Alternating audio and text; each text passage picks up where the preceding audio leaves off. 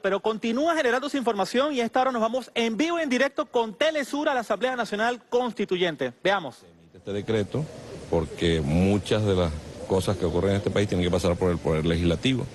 Lo que no puede ocurrir es que un país se paralice porque hay un poder legislativo que no trabaje, un poder legislativo que esté en desacato, que no ha entendido que hay una constitución y una ley.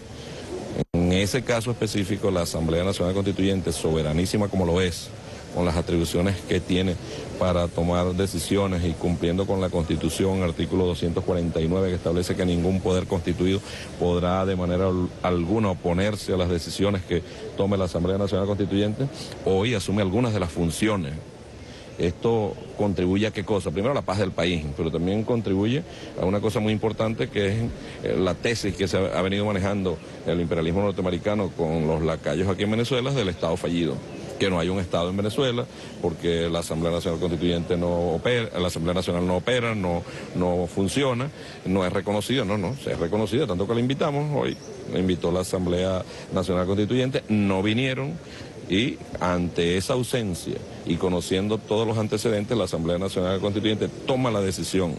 Eh, sin menoscabo para nada de las funciones que tenga la Asamblea Nacional. La Asamblea Nacional sigue existiendo. Los que son diputados siguen siendo diputados. Nadie ha sustituido, ni ha abolido, ni ha... Aquí la única vez que, que desaparecieron la Asamblea Nacional fue en el año 2002. Un golpe de Estado que dieron los mismos que hoy están dirigiendo la Asamblea Nacional. Esa es la única vez que ha ocurrido en Venezuela la desaparición de la Asamblea Nacional. Nosotros no lo hemos hecho, la directiva no lo ha hecho, los constituyentes no lo han hecho, solo que nosotros, en defensa de la patria, en defensa del Estado venezolano, asumimos funciones y se cae de una vez la tesis del Estado fallido manejado pues por el mismo vicepresidente de Estados Unidos lo puso en la agenda inmediatamente los presidentes de, los países de la derecha que son gobernados por la derecha en Latinoamérica lo asumieron como una orden bueno ante eso nosotros no podemos, permitir que haya un Estado fallido por eso asumimos algunas de las funciones de esta Asamblea Nacional. ¿Qué funciones nacional ahora? ¿Para qué queda? Seguirán, ellos tienen que reunirse, una de las cosas que tienen que quedar es para trabajar. Ellos, por ejemplo, convocan una sesión, asisten 20 diputados y ya la dan como cierta, ya la dan como que hay quórum, ya la dan como que pueden tomar decisiones, ¿no? Primero lo que debería hacer la Asamblea Nacional es asumir el, el, tiempo constituyente. Esa es una, asumir que hay una Asamblea Nacional Constituyente, que es soberanísima. Dos, salir del desacato en el que se encuentran. Eso es muy fácil. Lo que pasa es que la arrogancia de ellos no, no les ha permitido eh, y las peleas internas no les ha permitido dar ese paso que eh, la Junta Directiva, que se asume en este momento como Junta Directiva, fue electa con personas que no eran diputados.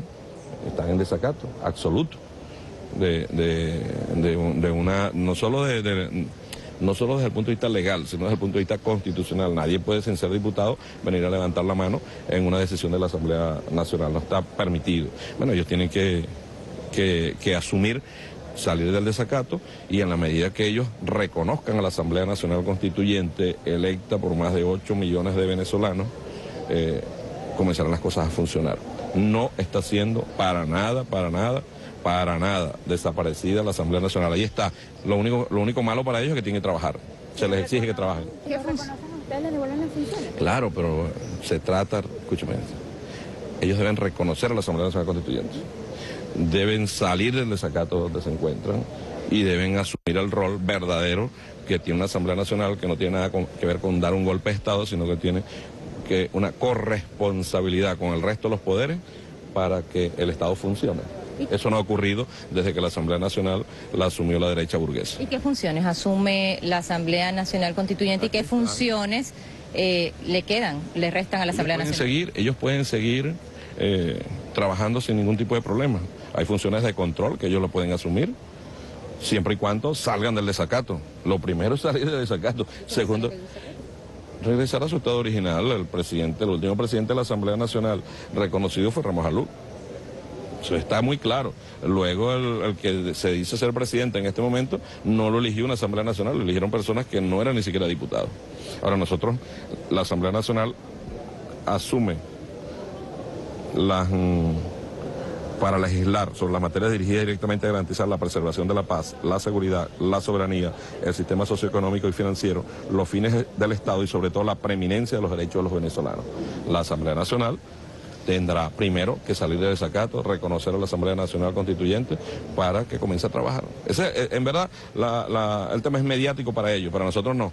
Para nosotros es un hecho de Estado se requiere una estructura que funcione, que trabaje por todos los venezolanos y no lo está haciendo la Asamblea Nacional porque está en desacato, no existe. ¿Va a seguir cohabitando en este espacio en el Palacio Federal Legislativo? Sí, eh, la Asamblea Nacional Constituyente ha hecho de, su decreto los estatutos que esta es la sede de la Asamblea Nacional Constituyente. Ellos cada vez que tengan que venir tienen que solicitarle a la Asamblea Nacional Constituyente, a la presidenta Delcy Rodríguez, autorización para estar aquí. No ha habido problemas hasta ahora ningún tipo de problema. ¿Qué diferencia hay entre disolver la Asamblea Nacional y asumir la función de la Asamblea Nacional? ¿Qué diferencia? No, no, fíjate, te voy a, te voy a, eh, te voy a, voy a tratar de, de, ponerlo con varios ejemplos. Sobre todo a nivel internacional, que no entienden mucho. La, si se disolviese la Asamblea Nacional, los diputados y las diputadas dejarían de existir, ya no serían diputados, ¿no? Ellos siguen siendo diputados y diputadas si se disolviese la Asamblea Nacional, nosotros no estaríamos haciendo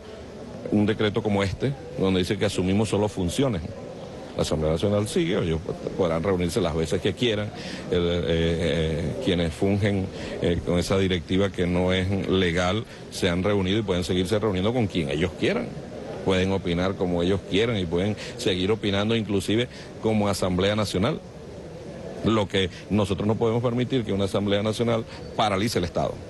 Lo, que nosotros no podemos permitir es que una persona que dice llamarse presidente de la Asamblea Nacional dirija comunicaciones a países del mundo y a bancos del mundo para que Venezuela no sea, no es que no solo reciba crédito, sino que no le permitan pagar teniendo la plata, teniendo los recursos, teniendo los dólares, no le permitan pagar eh, las responsabilidades que tenga el Estado venezolano. Eso lo ha venido haciendo una Asamblea Nacional que está trabajando, repito, para la tesis del Estado fallido.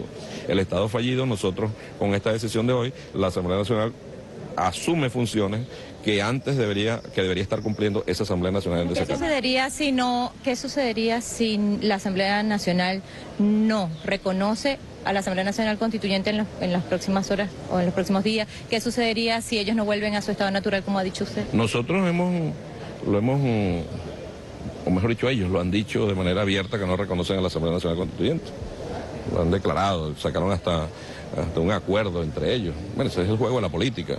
Nosotros hoy nadie discute en este país, en verdad, por las decisiones que ha tomado y la ejecución de esas decisiones, como por ejemplo, la ponemos muy sencilla, nombraron un nuevo fiscal general, ratificar en sus cargos a los magistrados que tuvieron a bien venir por acá. Para acá vino inclusive el rector del CNE, que es puesto por la oposición, según ellos que es, que es su vocero allí, el vocero de la oposición, sin querer esto decir que el resto de los, rectores sean voceros del gobierno o de la revolución, porque no es así, pero el que ellos defienden vino para acá y se puso la orden.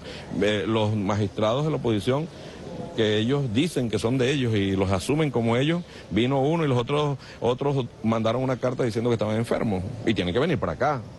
Quien no quiere asumir esto es la Asamblea Nacional porque ellos consideran que ahí van a acabar con el presidente Nicolás Maduro o se olvida el mundo que cuando Ramos Alú recibió dijo que en seis meses iba a salir del gobierno el presidente Maduro. ¿A cuenta de qué? ¿A cuenta de qué artículo de la Constitución? ¿A cuenta de, de qué podía él decir eso? ¿Cómo se olvida el mundo que esa Asamblea Nacional en desacato, ya en desacato dijo un día que el, presidente había abandonado sus funciones?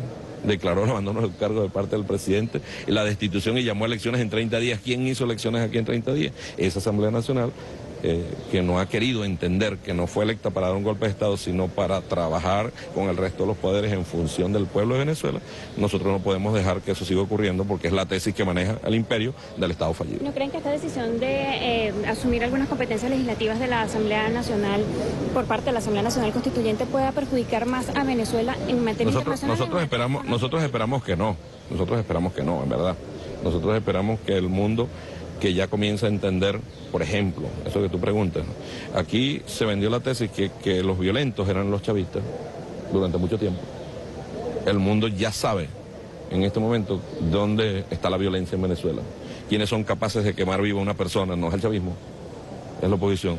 Quienes son capaces de asesinar por odio, porque simplemente parece que es chavista, lo asesinan ellos. Así como eso lo hemos ido entendiendo, nosotros estamos seguros que el mundo va a entender que lo que está haciendo la Asamblea Nacional Constituyente son actos soberanos de un, de un organismo que según nuestra constitución tiene, tiene poderes plenos, absolutos, tiene, según nuestra constitución. Entendemos que algunos países no sepan lo que es una Asamblea Nacional Constituyente. En Estados Unidos no saben porque su constitución es de data del año 1773, creo que, o 1783. No tienen idea de lo que es una Asamblea Nacional Constituyente, y aquí llevamos dos. Hay países como Argentina, que es de 1858, no saben lo que es una Asamblea Nacional Constituyente.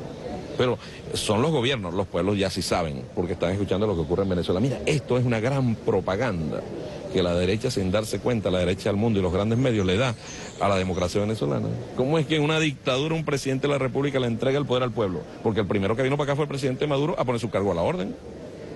Nicolás Maduro no se escondió por allá, no. Nombramos la Asamblea Nacional Constituyente y se acabó, no. Él vino y puso el cargo a la orden y fue ratificado por esta Asamblea Nacional Constituyente. Muchísimas gracias al constituyente Diosdado Cabello. Bueno, en